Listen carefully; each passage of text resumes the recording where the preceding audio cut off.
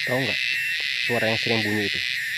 Biasanya di perkebunan, di hutan, bahkan di belakang rumah itu selalu ada. Mau tahu binatangnya seperti apa? Ini dia. Nah itu binatangnya, tonggeret atau cenggeret.